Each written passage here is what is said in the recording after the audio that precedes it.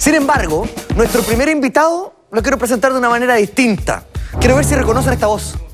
Hola, hola, ¿qué tal? Buenas noches a todos. ¿Cómo está Juan Felipe?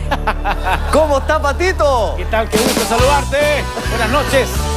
ya, yo creo que ya todos lo conocimos. Oh, esto, me sentí, Oye, me sentí justo, pero justo a espectacular. las 10 a las 10 y media de la noche. Estamos en vivo, en directo. 10.30 de la noche este lunes. ¿Cuánto estamos lunes? ¿Cuánto? Lunes 10. de junio. Qué espectacular, Patito. Oiga, Sí, sí, dígame nomás. vamos a hacer lo mismo que hicieron alguna vez en TVN y lo vamos a sacar del anonimato y lo vamos a presentar aquí mismo, ¿le parece? Me parece muy bien. Que baje entonces, Patito del Switch. Ahí voy. Muy bien. Muchas gracias. Silencio. Hola, ¿cómo estás? Patito, qué gusto, por favor, adelante. ¿Por aquí, por aquí? Ok, Por aquí y se sienta aquí al ladito mío.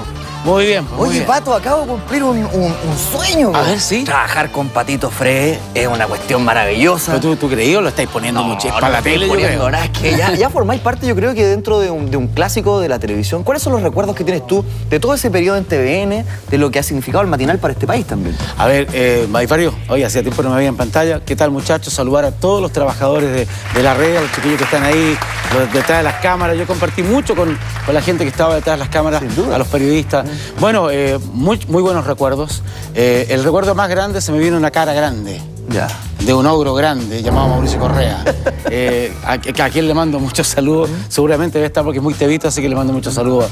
Eh, Director Buenos Días a todos, también importante Días todos, para que. Y le mandamos saludos también a un, Mauricio. un saludo grande para él, si es que, si es que está viendo. Si es que está viendo. Si es que está viendo, claro. Sí. Sí. Oye, un recuerdo importante, eh, yo lo decía, uno de repente realiza la pega en la televisión, pero la real envergadura que esto tiene, en el despertar. Uno no se da cuenta. no yo yo eh, te escucho decir esto.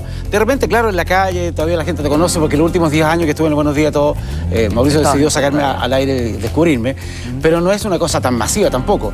Y cuesta ver la, la- la- la dimensión que tiene. Hace un año estuve en Estados Unidos y escuché ahí en la Ocean Drive, ¡Patito Frey! ¿Qué onda? Y no era un chileno. Hablaba como chileno, pero no era chileno. Ya. Yo, yo lo imité como chileno, pero no era, no era chileno. Entonces, la, la trascendencia que tiene la televisión es, es muy importante. Uno siempre trabaja escondido con el nervio, que el rating, que etcétera, que la exigencia, y no te das cuenta de lo que uno puede proyectar de repente a través de la, de la voz, en mi caso, durante los primeros 10 años y después durante los próximos 10 años, totalizando 20 años de estada en el, ahí en, En TVN. Ahí donde te conocí a ti también, sí, pues, animando TVN, po. cuestiones juveniles. Exacto. Sí.